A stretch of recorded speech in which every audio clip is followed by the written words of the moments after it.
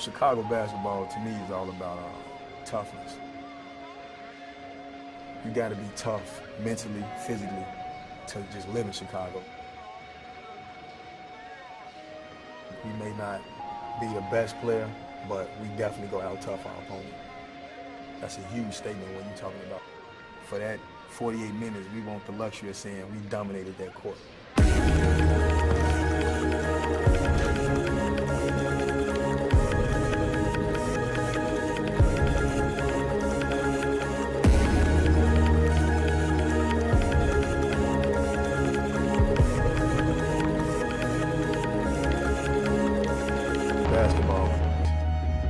Took me out the country, took me to a lot of different places.